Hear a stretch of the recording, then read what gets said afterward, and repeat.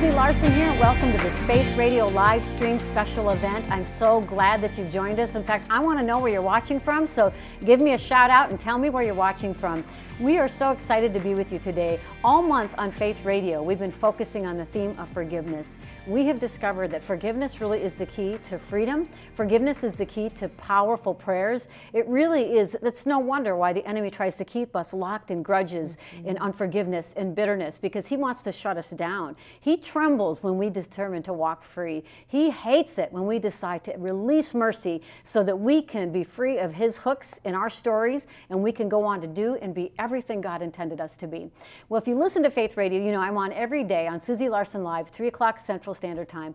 And it's an awesome show where we talk deeper life issues. Today, we're going to talk about the power of releasing mercy. We're going to talk about the heavenly courts, about the fact that our Father is a righteous judge, and there's a judicial nature to God. I'm joined by a very precious friend of mine, a prayer warrior, and if you've been following my story, you've heard me talk about these key warrior women who decided to walk with me, march with me, pray with me until I'm fully healed. And the level of healing that I've already experienced is just beyond my wildest dreams. And there's a little bit left to go, but we're determined to lay hold of the promise that we really know and believe God has given to us. And one of the keys to soul freedom for me was releasing mercy to some of the people who hurt me worse. I didn't think I was walking in unforgiveness. I'd forgiven the boys who hurt me when I was a little girl. I counseled about it. I did everything I knew, but I didn't know that my body was still holding on to mm. trauma. And at the very core of that trauma uh, the enemy had his hooks in it. He was re traumatizing me by compelling me to live bracing for impact. And I hear from a lot of you. I know a lot of you live bracing for impact. And this is, there's no condemnation in that, but there's an invitation to walk mm-hmm. free.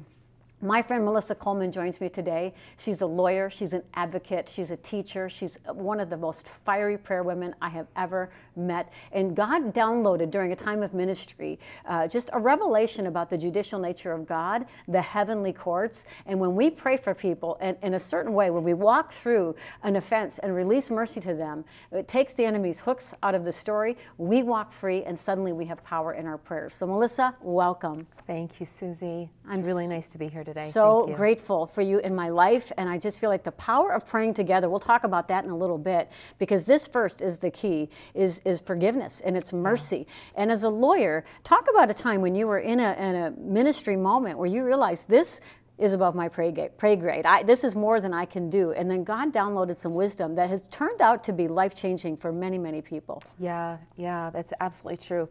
Um, so there was a lady at my church actually who was dealing with um, torment from a lot of evil spirits. She came from a country where uh, witchcraft and witch doctors were very prevalent in her culture. And um, she was literally being tormented day and night from these witch doctors. And she came to me seeking help. And, um, you know, I just really did feel it was above my pay grade. So I, I called the elders in our church, one of whom is my husband. We, we gathered together after church and I watched how they led her um, to pray for mercy, to apply mercy, um, extend mercy to each one of those witch doctors who still had a, a grip on her. And that was the way that she was able to break free from, um, from them and from their access to her from that, um, she became completely free. And this was a this was a new experience for me. I'd never seen anything like it. And so I started to ask the Lord to show me more about this powerful tool of mercy that um, that He had shown me that day. And in His um, grace towards me, he did that. And you, you, it's so fun because you know you'll text and say, "I'm off to speak to college students," or "I'm off to speak to an organization," and you're leading these organizations and these groups of people through mercy trials, and and they're seeing freedom. And this woman, it was like a light switch, you Absolutely. know. And I will tell you again, I'm someone who fears God. I really did sort through so much of what happened to me when I was a little girl at the hands of those teenage boys.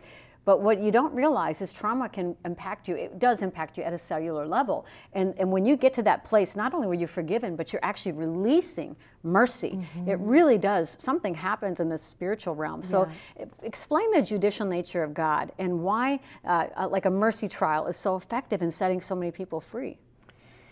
Well, I think that there's something very um, it, it, there's a spiritual transaction that takes place when we conduct a trial in the heavenly courts and when we apply Jesus' mercy. Uh, when we uh, when we choose to forgive somebody, sometimes we just can't quite get there. Um, and, and I'm I've been very honest about that. That there are people that I have really tried to forgive, and I say I forgive them, but I just can't quite get the enemy's hooks fully out of me. And the Lord showed me that's because you're trying to do it on your own. You need the mercy that I purchased for you. You need to um, take the, what is in your bank account and write the check to pay that debt. When I do that, I cut off the enemy's access to me. And um, when the enemy's access is cut off, he's not tormenting me with those painful hurts and memories and feelings anymore. Then my soul can catch up and I can truly forgive. Um, but my willingness to do that is a heart condition, but the transaction is um, is really applying what Jesus did for all of us to pay for the debt that's created with those sins against us. So often we're afraid to go there because uh, you know anger can feel like a fuel. I mean it is. You know there's been times when I've been angry and my house is cleaner than it ever is because I'm so efficient. But it's so poisonous and so toxic and as believers we don't really have a right to harbor grudges. What did Jesus say about unforgiveness to us as his children? Yeah, this is um, this is a really big deal in the kingdom because um, Jesus said that if we don't extend mercy to others um, and forgive them of their sins against us, He won't extend mercy to us and forgive give us of our sins. And so we often think that the whatever the offense happened to us is the greater, uh, the bigger sin. But really, the Bible teaches us that unforgiveness is the greater sin. That's the plank. Um, what in, in our eye, what somebody did to us is comparatively really the speck. And so we need to get it right because unforgiveness is a very big deal. Jesus paid a very, very high price to forgive us of our sins. And what he asks of us is to do the same um, for others who offend and you, hurt us. We don't really understand it if, you know, I don't know who said it first, but somebody said this 20 years ago. Maybe it was in a song or a poem. But we can't have their list in our hand and our list on the cross, right? And this isn't to make uh, light of the trauma. I mean, we just did a live radio show and people texted in. I asked them, what do you need to forgive? You, could, well, you probably could believe, but the text that came in, like a ticker tape, they came in one after the other of betrayal, of rejection, of sexual abuse. These are massive, massive offenses. These are not small things. But, you know, there's two things that come to my mind. One is we need to understand the judicial nature of God, that He's our Father, but He is judge. And the enemy is also a legalist. And if we give Him legal access, He will take it. Jesus knew what unforgiveness would do to us. It would poison us, but it's mm-hmm. also a self righteousness that I'm going to take your forgiveness for me, mm-hmm. but I'm not going to extend it to them. And, and but He also knows what it'll do to our soul, and it gives the enemy legal access to our souls. Mm-hmm. One thing you said before the broadcast was really important for those who've had trauma in their past. You know, maybe you had an unfaithful spouse, or maybe you were abused by a parent, or something, people that should have protected you, should have been safe and they're not in your life anymore, but their crime against you is. Mm-hmm. You talk about the importance of naming the crime. And I want to just pause here about this because if, you know, we tend to downplay certain things. And if you blur the lines around what has happened to you, um, you're not going to fully uh, understand the exchange that happens. And, and I, I, tend to think if you kind of dumb down, so to speak, the stuff, because it's not as bad as them, you'll never fully heal from mm-hmm. a crime that you aren't willing to admit or acknowledge. And you talk about about the importance. In fact, I'll just let you in on my story. I talk about it on the air, and it's very, very personal. But when I came together with these women, these praying women, um, my little superhero women, I thought they were going to lay hands on me and pray for me to be physically healed. Instead, Melissa taught for 20 minutes on mercy trials, and I didn't even really know where it was going. But when they came around me, and she gave me a little tablet, with Susie Larson, attorney-client privilege. It was this document, and it was blank pages in the tablet. And the back of the tablet were these mercy trial prayers, which we are going to share with you in a moment. But she said, you've got to name the crime, and I'm going to have her explain why in a moment. But just for example, she said, you know, talking about the boys who jumped me on the way home when I was 10 years old. I was jumped and beaten, punched me, kicked me, pulled fistfuls of hair out. And so she said, did they punch you? I said, yes, write it down. Did they kick you? Yes, write it down. That's a crime. So I wrote down all of the crimes. Talk about why it is important to name the crime.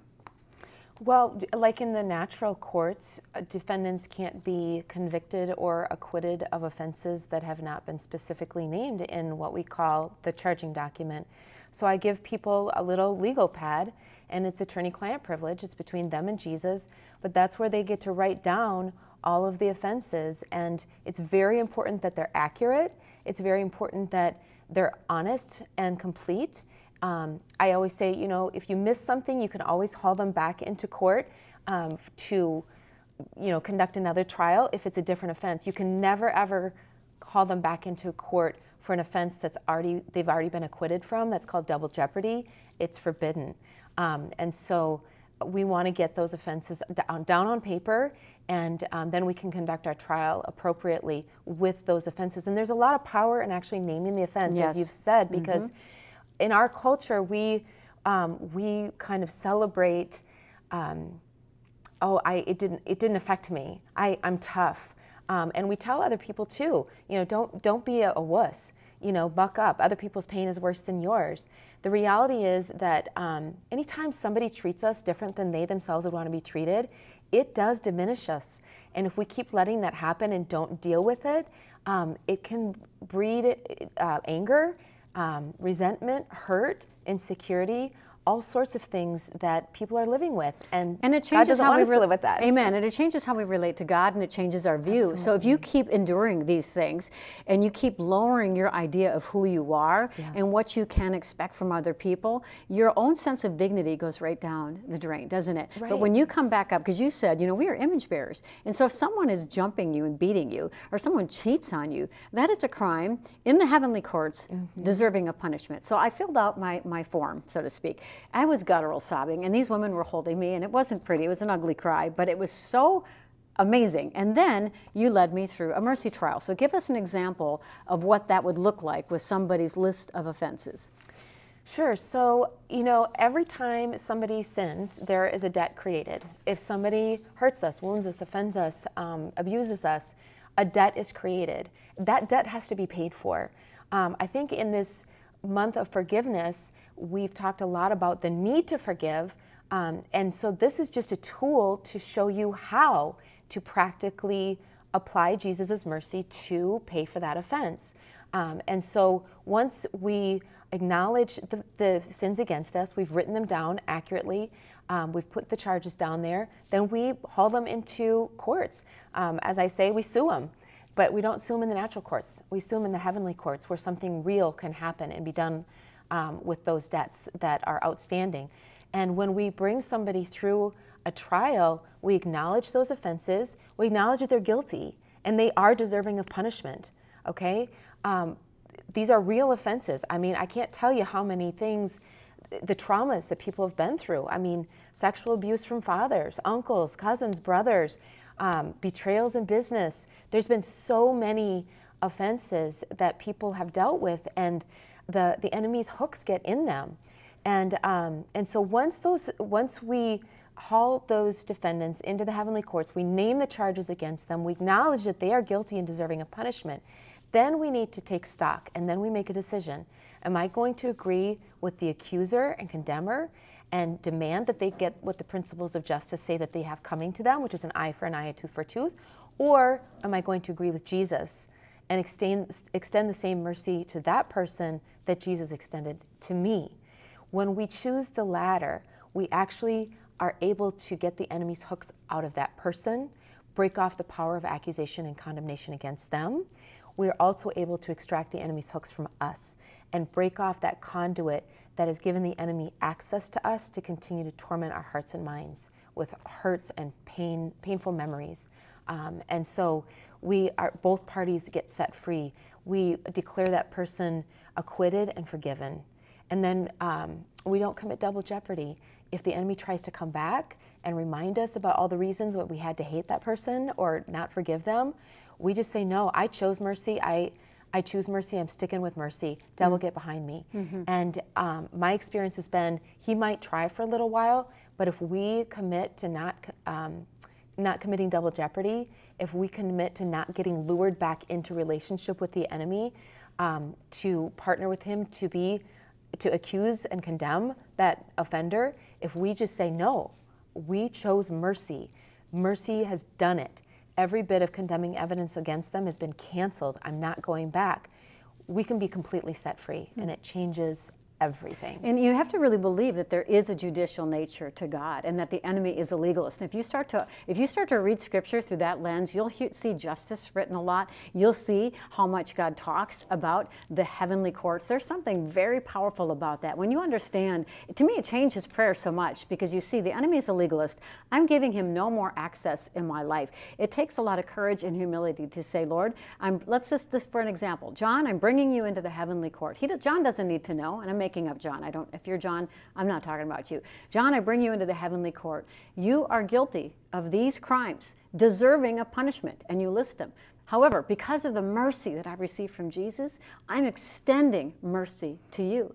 I release you and I declare you forgiven, acquitted, and free. And now, enemy, I serve you notice. You are no longer part of this equation. You cannot triangulate anymore. You are out of this because John is forgiven, acquitted, and free, and I choose mercy.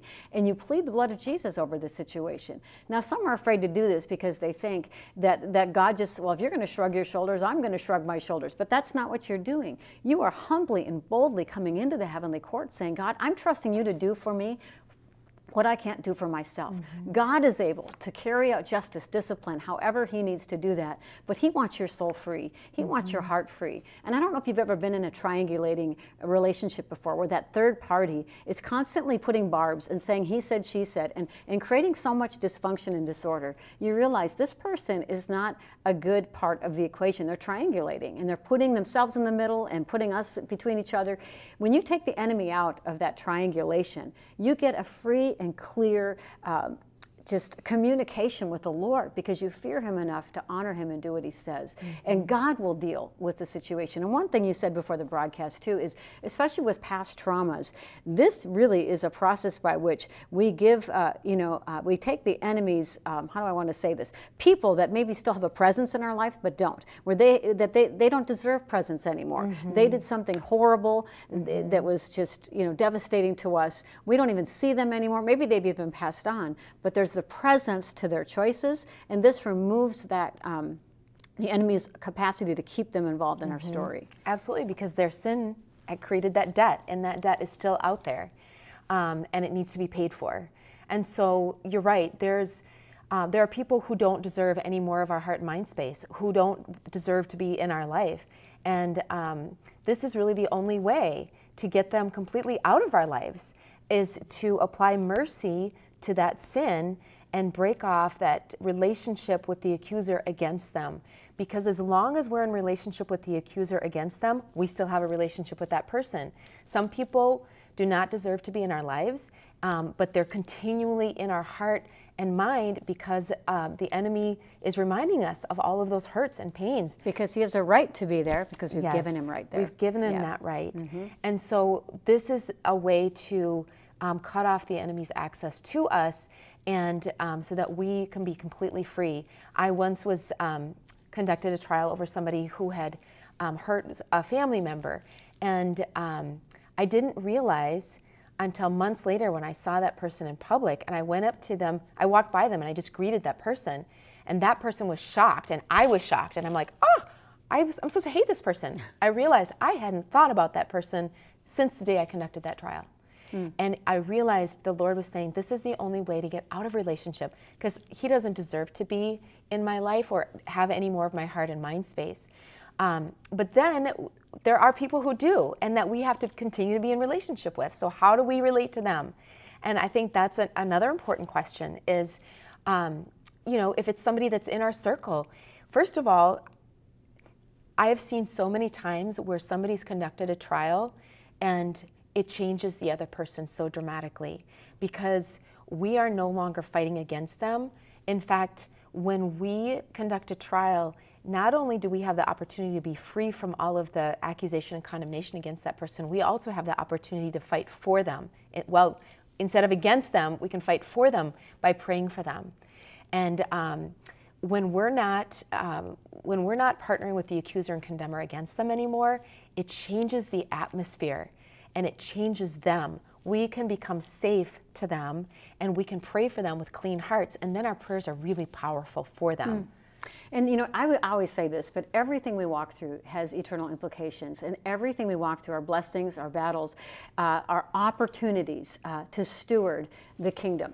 And uh, when you think about in the heavenly court, the enemy accuses us day and night. So the enemy's constantly picking us apart, and he's looking for people to agree with him. Jesus intercedes for us day and night. And you know, you, you can think about that as far as how you think about yourself and how you think about others. Which line are you getting into? Who, whose voice are you agreeing with when it comes to yourself, when it comes to the people in your life? Because if, if you have an opportunity to cast a, an offense, to cast a, a slur, to, to hold a grudge, but you have an invitation to get in line with Jesus as an intercessor. I mean, think of Moses and all the stuff he put up with grumbling Israelites, but he continually put himself between the people and God and interceded and said, We, have mercy on us. That that is a kingdom mindset. I don't know if you heard of Catherine Marshall, but she's one of the late greats. She was married to Peter Marshall. Every single night, one of their, their practices they did every night was the anything against any anything against anyone prayer. Mm-hmm. And they would search their hearts. They would say, even if it's a speck of a dot, if they had anything against anyone, if it was that little girl who pushed their daughter at the bus stop, they would release blessing, they would forgive because they just realized the power of a pure heart. It's the pure in heart that see God. And they realized, I'm going to take so seriously the call of God on my heart that we're going to keep our hearts clean. Mm-hmm. And, and this is one of the things that is, you guys, you know, I mean, I've been very committed to too, but seeing it in a whole new level in our prayer meetings is when we come together to pray for our husbands, our kids, for the rest of my healing, mm-hmm. whatever, you know, even when we walk through battles, there's this high level of fear of the Lord. And we've learned to release mercy quickly. Mm-hmm. One of the things you'd said in your teaching was that in the Constitution, the, the accused has a right to a speedy trial. Right. And you said, how much more for believers? Absolutely. Can you imagine keeping a defendant in jail until the victim of their crime was ready to give him a trial? Hmm. I mean, honestly, we would all be in jail all the time. None of us would get out of jail. Um, yes, the Constitution guarantees every defendant the right to a speedy trial. We don't have the right to retain um, our claim on those offenses and not give that person a speedy trial where their offenses can be dealt with quickly. Um, it's, it's not just a constitutional principle on earth, but I really believe it's a heavenly principle too. In a, in a culture where we celebrate sometimes victimhood, and we celebrate the right to accuse other people, the Lord is saying, don't fall into that trap.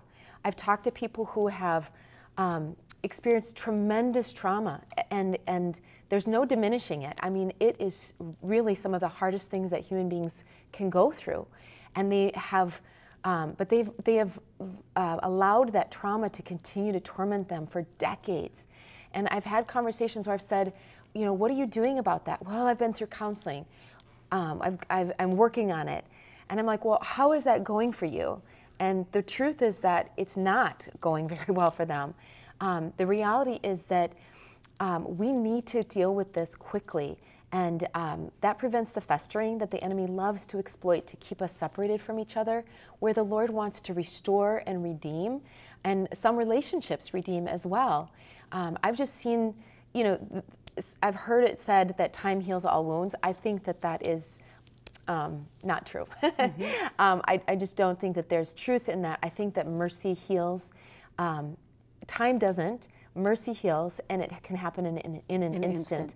I've seen people get delivered of things that they have been traumatized for decades in an instant, in a 10 minute um, prayer, and um, all that pain is lifted off and the Lord, I, I prayed with one lady and I led her through a trial against a husband who had beat her so badly.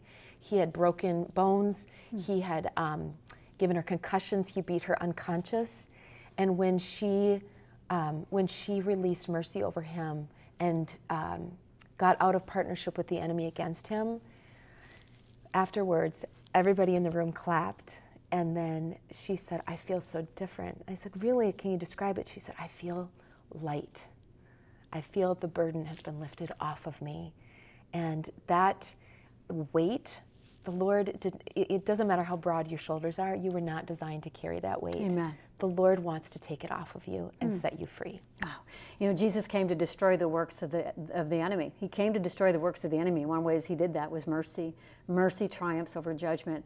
And so now our sins as believers, as Christ followers, never again have the power to condemn us. In a judicial system, we are heirs of God, joint heirs with Christ. The judge is our Father, is our Abba. And our sins no longer have the power to condemn us to hell. Is that not amazing? And when we start to think about the power of if we don't forgive, there's an accountability before heaven because of the mercy we receive, but we're also bringing untold misery on our lives. And I will mm-hmm. tell you, for me, in the January, February time before we prayed, I was exhausted. I was battered from this wretched illness, but I was emotionally just worn out and discouraged and getting kind of depressed. I was sick and tired of being sick and tired. I had a book to write, and I, I wanted to give the contract back. And I hope my publisher's not watching because that would be a terrible decision. but I'm like, I can't do this. And thankfully, my mm-hmm. husband's like a big oak tree because he's like, You are not giving the contract back. But it was right at Lenten time when these dear friends approached me and said, We're going to march with you and pray with you. And that mercy trial that Melissa and the girls conducted with me.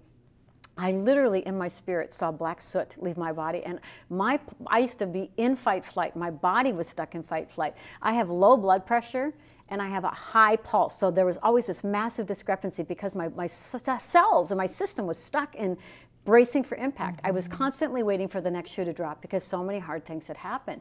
When this happened, my pulse dropped 20 points within a day or two. Mm. I was out of fight flight. And it wasn't that I needed a 10 day vacation to get ready to write this book.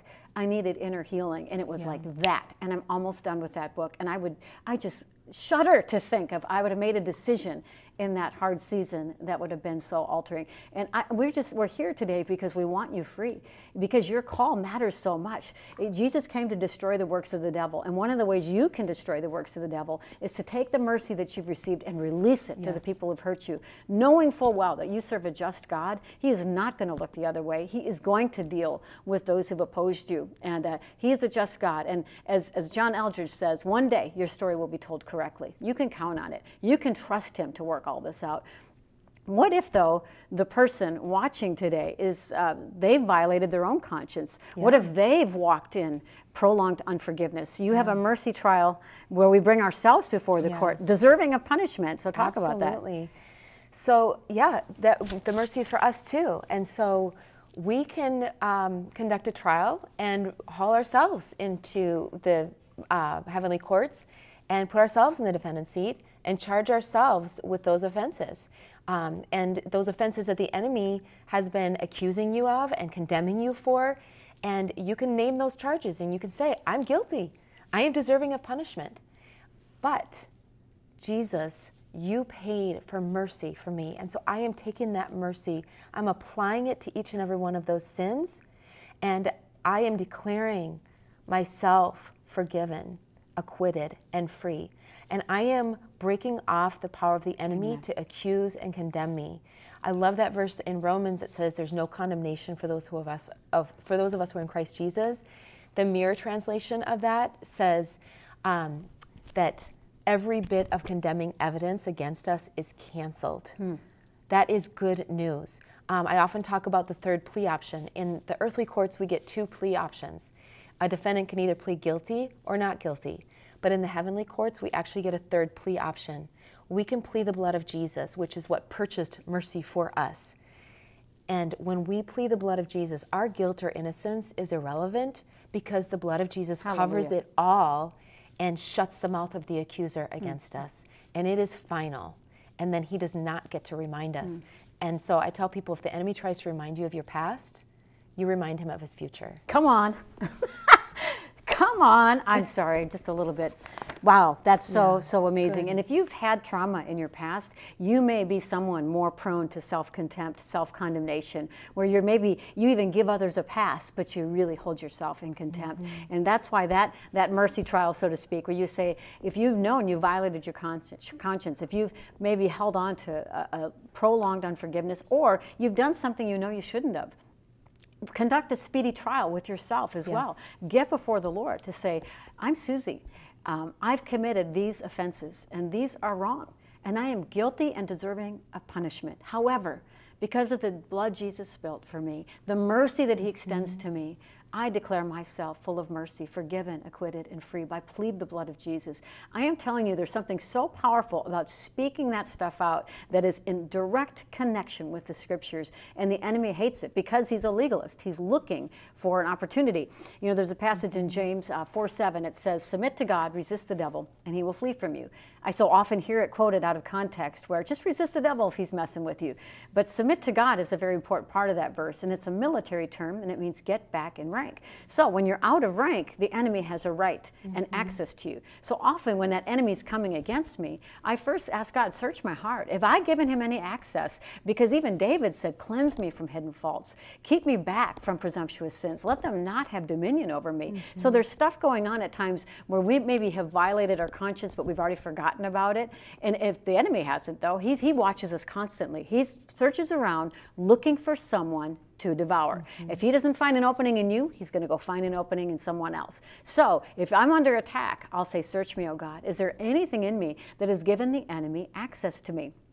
If not, then I resist the devil because he has to flee. If so, I repent and then I resist the devil and he has to flee that, that phrase that he has to flee, he must flee when you resist him, it means two things, to run for his life and to look for safe haven. Mm. And this is the thing, is the enemy has found safe haven in hearts, the enemy has found safe haven in communities. How does he do that? Because we as believers give him legal access, and even mm-hmm. unbelievers mm-hmm. give him massive legal access. But as believers, who else should be walking in such a fear of God to say, I am not giving the enemy free access to my family, to my heart, to my community. Mm-hmm. In fact, I'm going to come together with like minded believers. He will not found, find no safe haven here. And then together, we are going to pray for other families. That's when you start to see things happen. Right. And I think a lot of people might feel like, oh, but what I did is so bad. Um, it's just, I'm the exception. I could never be truly forgiven for this. And there is no sin that the blood of Jesus that purchased the mercy for us cannot cover and completely pay for. And there, when you think about the people that the Lord used in the past, He used murderers, He used rapists, He used people that committed incest, He used thieves, He used all sorts of people um, because he was able to clean their hearts. Mm. And that's what he wants to do for us. He wants us to be free.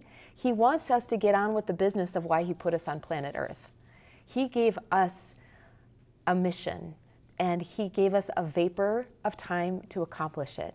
So we need to stop being in relationship with the enemy and cut that access off and start getting busy doing the things that God put us on planet Earth to do. Hmm. Your agreement means everything. And as we get ready to wrap here, I don't want to just assume that you know Jesus as your Savior. And if you don't, um, I want to introduce him to you. Jesus is God's Son. Jesus, God so loved the world that He sent His one and only Son to die for you. He came to earth. He walked this earth. He died a criminal's death, though He committed no sin, and then He rose from the grave. And the Bible says He made a public spectacle against the powers that oppose you. The enemy comes to steal, kill, and destroy. Jesus came that you would have life and life abundantly. But this isn't just an opt out. I've heard some leaders say that everybody's saved unless you opt out. That's not true. Jesus, the Father said, only Nobody comes to the Father except through Jesus. And there has to be a point where you acknowledge in your heart and you believe in your heart and you confess with your mouth, I am a sinner. I need a Savior. I believe, Jesus, that you lived, that you died on that cross for my sins, and you rose from the grave, taking the enemy's claim off of me. I need a Savior. I declare you as the one true Lord. Would you come into my life? Forgive me of my sins. Cleanse me from all unrighteousness. Fill me with the power of your Spirit so I will know that I'm grafted into the royal family and that I can know not only that my eternity is secure, but that now in these days I walk in your presence as I live here on earth. You know what? We were once orphans. We were once in the kingdom of darkness. But when you come to Christ, there's a massive spiritual transaction that happens. He takes you out of the kingdom of darkness, puts you into the kingdom of his dear Son, the kingdom of light.